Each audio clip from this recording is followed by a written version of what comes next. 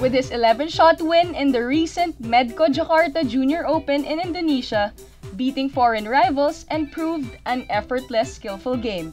Jobim really is unstoppable, one of the young sheer geniuses of the ICTSI crew. He just can't miss this young man's dream of an impeccable game. When I was really young, I watched my grandfather playing, hit, just hitting balls off the range. It's the competition, just the, just the tournaments. It's so big.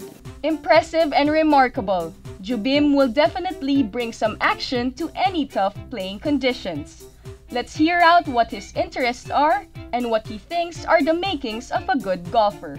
I just do my normal routine, just hit balls and practice putting. I play in the country club when there's when I don't have school, Augusta National because that's the it's the Masters. Tiger Woods because he's number one and he has a lot of experience. I, I could learn a lot from him. When I mark my ball, I always pick one side only.